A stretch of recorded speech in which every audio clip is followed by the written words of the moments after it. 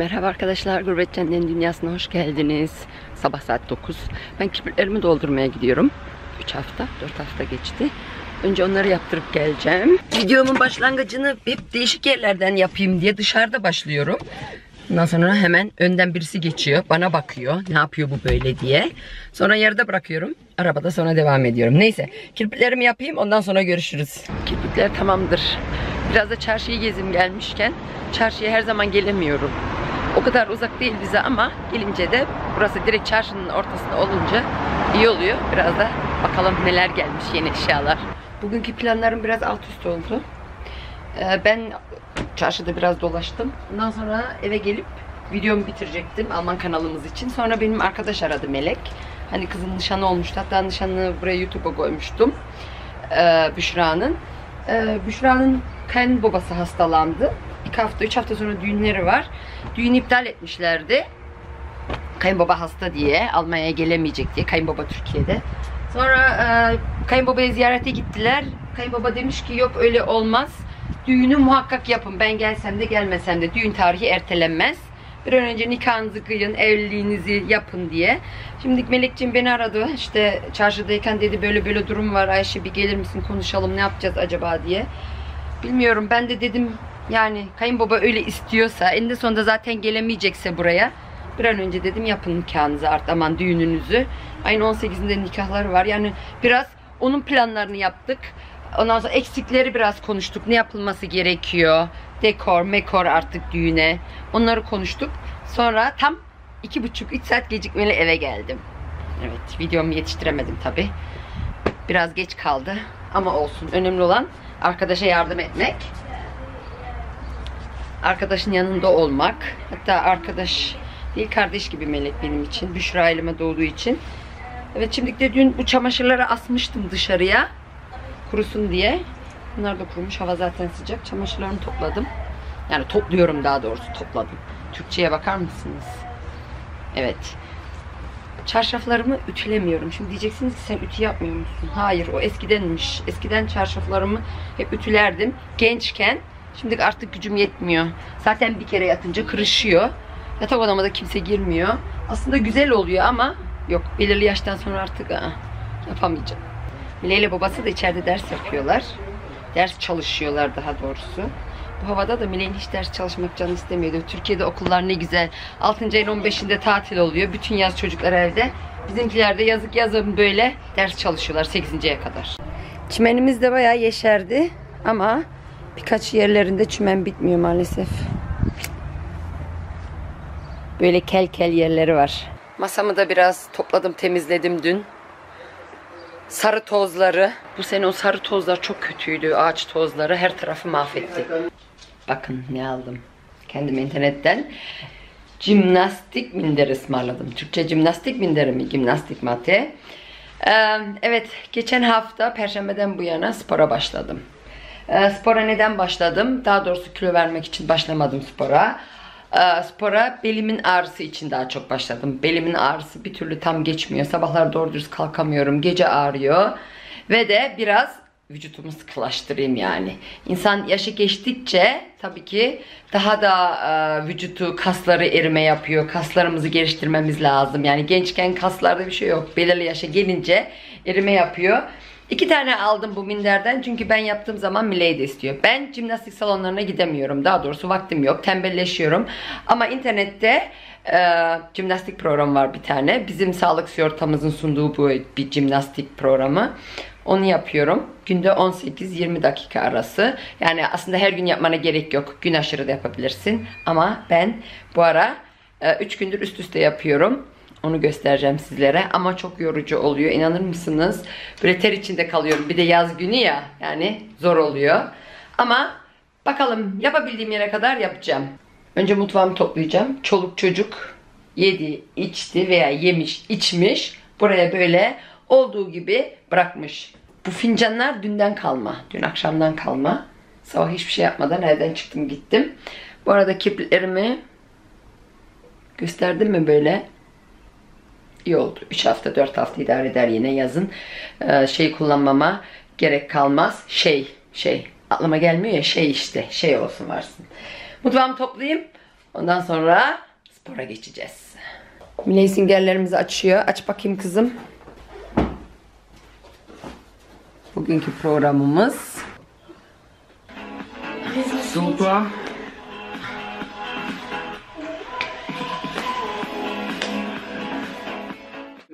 Nach vorne und wieder zurück. Strecken uns hoch.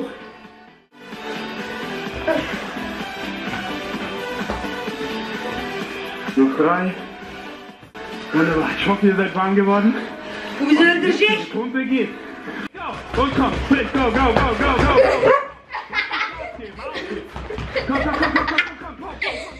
Ihr merkt sofort den Bauch. Drei, zwei, eins.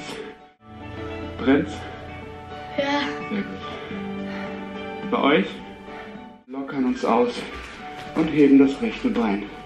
Im Gleichgewicht habe ich es heute auch nicht so, aber das gehört dazu. Auf euch selbst stolz sein, auf eure Partner stolz sein. Und dann würde ich sagen, habt ihr es geschafft. Şimdi de kendime içecek hazırladım. Zencefili kaynattım. Ingwer, Türkçe zencefilmiş. Google öyle diyor. Bakın kaynattım. 10 dakika küçük küçük doğradım. Ee, süzgeçten geçirdim. Sonra içine Google diyor ki akça ağaç şurubu. Bakın ahorn sirup. Bundan kattım. 4 kahve kaşığı. Bundan sonra 4 kahve kaşığı elma sirkesi kattım. Ve biraz limon suyu kattım. Bunu şimdi soğutacağım. Ondan sonra bunun içine karıştıracağım. Bu şişeye dolduracağım. Ondan sonra biraz biraz içeceğim. Neden bunu içiyorum? Benim kalçalarım biraz başkalarına bakınca toplu. Biraz yağ eritmek için. Yani benim niyetim biraz da oralardan yağ eritmek. Yani aslında kilo vermek istemiyorum ama yani kaslarımı toparlayıp o fazlalık yağlar erisin istiyorum. Kilom aynı kalsın ama o fazlalıklar gitsin istiyorum. Onun için bunu ben şimdi e, bu sporu 8 hafta Türkiye'ye gidene kadar yapmak istiyorum. Bakalım yapabilecek miyim? Ben böyle şeylere başlar başlar bırakırım. Sadece ben bir Hakan küçükken spora başlamıştım. Bir sene spora gitmiştim. Bir arkadaşla. O zaman idare ettim ama şimdi bakalım komşu geçiyor. Böyle idare edebilecek miyim? Bunu böyle günde bir litre. Bu acı acıdır şimdi. Ne kadar bu tatlıyı katsam bile böyle bayağı acıdır. Başlayalım. Bakalım becerebilecek miyim? Vücutumda değişimlik olacak mı? Hep beraber vloglarımızda göreceğiz. Ben de sizlere anlatacağım tabii ki. Sen ne yapıyorsun? Kira'da Allah'ım. oynayacağım. Ben burada vlog çektim mi benim çocuklar bile kameranın arkasında git gel git gel. Kızım duşunu aldı bile ben daha almadım ben sonra alacağım. Az kalsın unutuyordum. Büşra'mın nikahı için ayın 18'inde nikahı var. Kendime elbise aldım. Böyle çizgili normal uzun boyda dizlerin altında. Kameradan görünmüyor. Böyle bir elbise. Artık nikahta giyince görürsünüz. 25 euroya aldım. Sade bir şey olsun diye düşündüm. Ve Mango'dan aldım. Evet. 25.99 yazıyor. Bu elbiseyi aldım çarşılarda dolaşırken. Fazla da bir şey almadım. Robot beni öldürecek. Fazla eşya alma diye. Aha, robot geldi. Robot geldi. Tatilden geldi. Görünüyor. Merhaba. Yanmış değil mi? Yapsak bir brown geworden. Beni geçiyor artık yavaş yavaş. Ya bakın hiç fark yok artık. Alman Türk hani fark yok. Kendime benzettim adamı. Yerimi değiştirdim. Aslında ben o tarafta oturmasını sevmiyorum. Burası benim yerim. Aslında ben soru cevap yapmayacaktım bugünkü videomda. Yani hiç e, blogumda öyle bir şey yapma düşünmüyordum ama bir tane yorum gelmiş. Bak şimdiki yazan kişi de yanlış anlamasın. Ben yani yorumunuza cevap veriyorum diye hemen yani kızıyorum anlamına gelmez. Ben sadece kendimi anlatmak istiyorum gelen yorumlara. Yazmış ki diğer vloglara karşılaşınca sen vlog yapmayı sev bilmiyorsun ablacığım diye yazmış. Bak ablacığım demiş. Alman kanalda da e, vlog e, tatile gittik dedin. Vlog yok. Yarın çekerim ilkeye gideceğim. Doğum gününe dedin. Çekmiyorsun. Tam olarak tatillerde ne vlog çıkar halbuki. Yani tatillerde çok güzel bir vlog çıkar.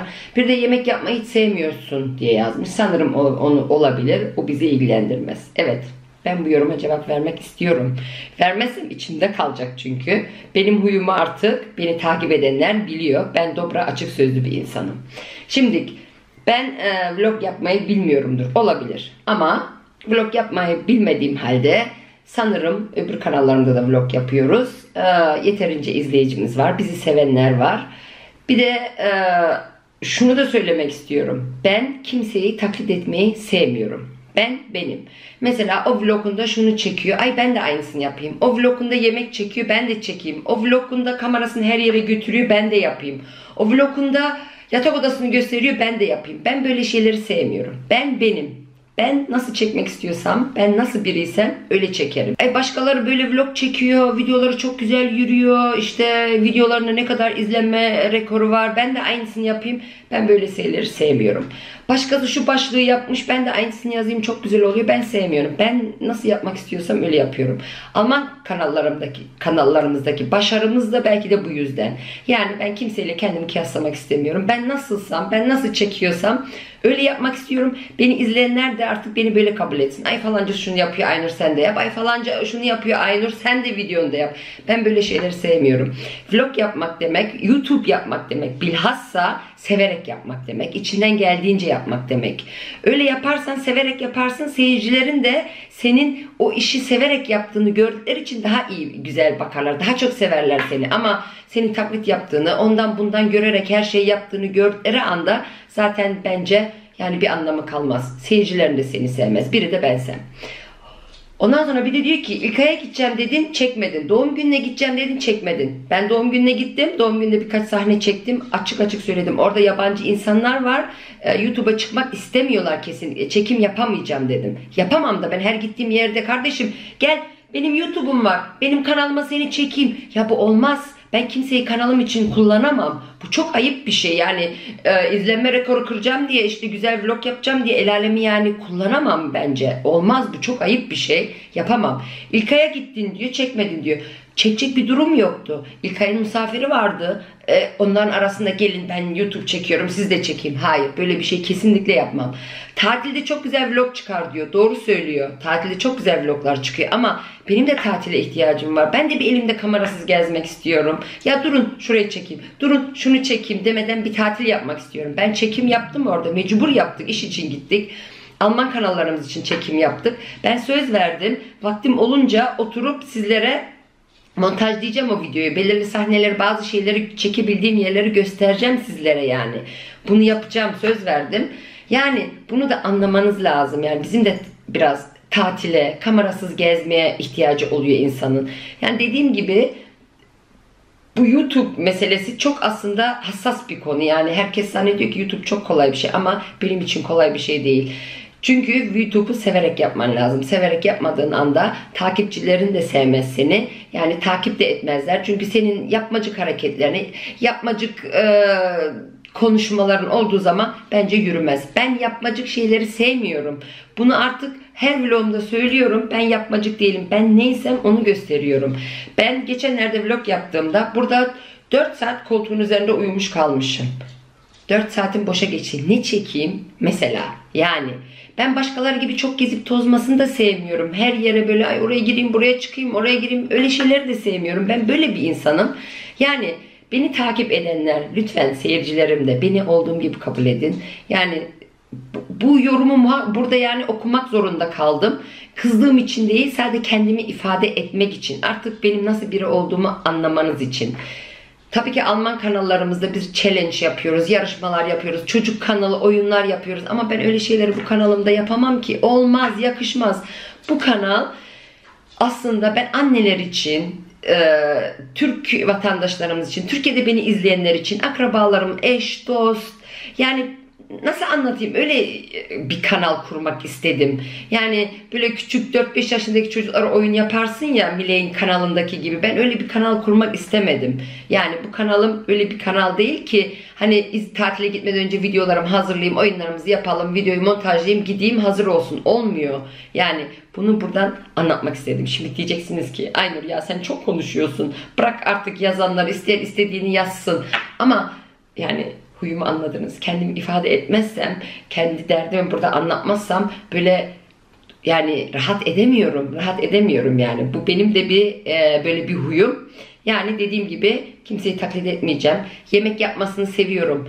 E, ben senelerce 4-5 çeşit yemek çıkarttım günde. Bu yemek konusu da çok önemli. Bilhassa Ramazan bak bir konudan bir konuya giriyoruz. Takip ettiğim çok arkadaşlar var Instagram'dan olsun. Bazen YouTube'dan da olsun. Ya iftarda 5 çeşit yemek yapıyorlar. 2-3 kişi için. Ben merak ediyorum. Bana yorumlara lütfen yazın. 4-5 çeşit yemek 2-3 kişi için iftarda nasıl yenir? Bir de sahurda ayrı yapıyorlar. Bu yemekler nereye gidiyor? Yeniyor mu? Atılıyor mu yoksa? Bence atılıyorsa çok günah. Ben evimde kaç çeşit yemek yeniyorsa israf olmaması için onu yaparım. Bugün çocuklar yoğurtlu makarna mı istiyor? Sadece makarna, yoğurt üzerine salça yeter benim için. Yani ille güzel yemek yapacağım, sofra donatacağım diye yap yap koy. Kimse yemesin ondan sonra çöpe at. Yani bence bunlar çok yanlış. Yani bence çok yanlış. Siz nasıl görüyorsunuz bilmiyorum. Ya ille sofram çok güzel olacak. Ay her şey dört dörtlük olacak. Dört beş çeşit yemek olması lazım. Ramazandı veya adettendir. İşte videoda göstermem lazım. Instagram hesabımda millet görsün benim neler yaptığımı diye. Ben yapmam. Kusuruma bakmayın yani bu konuda yanlışsam. Evimde bir çeşit yemek yeniyorsa o gün bir çeşit yaparım. Yenmiyorsa hiç yapmam. Yani bu yemek yapmayı sevmemekle hiç ilgisi yok yani. Cihan. Allah'ım ya biri giriyor biri çıkıyor. Bu evde doğru düz konuşamıyorum bile. Kameramın aküsü bitti hemen değiştirdim. Konu nerede kalmıştı? Evet e, YouTube e, bunu da söylemek istiyorum. Ama köpek de kudurmaya başladı. E, YouTube'da muhakkak Instagram'da insanlar para kazanmak için yapıyor. Tabii muhakkak biz de kazanıyoruz. Bunun, bu bir gerçek. Family falan Alman kanallarımızdan. Ama ben bu gurbet canlıyı daha çok böyle para kazanma, param olsun veya işte izlenme rekorlarım olsun da para kırayım diye yapmadım. Ben buna aslında böyle kendi dilimde, kendi insanlarıma hitap edeyim, e, kendi milletime hitap edeyim diye yaptım böyle. Ama e, bilmiyorum millet ne anlamda görüyor. Instagram hesabımı biliyorsunuzdur Gurbetçi Anne. Ben orada e, doğru dürüst resim bile yapmıyorum. Millet günde 3-4 çeşit elbise değiştiriyor. Instagram'a resim çekileceğim, koyacağım diye. Çünkü firmalar bakıyor, görüyorlar ne kadar resimlerin güzel olursa, ne kadar aktif olursan, ne kadar e, storiesini, ne diyorlar o WhatsApp, e, Instagram story diyoruz biz Almanca, Türkçesini bilmiyorum. Hani ne yaptığını gösteriyorsun ya. Ne kadar çok gösterimin olursa firmalar o kadar çok seni, seni buluyor ve sana reklam verebiliyor. Oradan para kazanıyorsun. Bu bir gerçek yani. Onun için ben kimseye de kızmıyorum yapanlara ama ben ben gurbetçi öyle bir şey yapmak istiyorum.